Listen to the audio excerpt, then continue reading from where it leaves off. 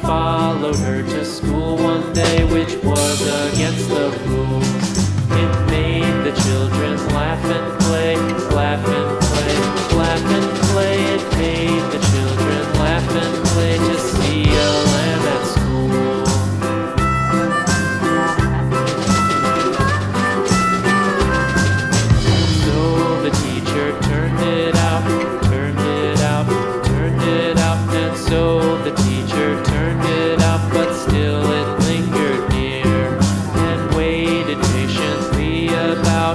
patiently about, patiently about and waited.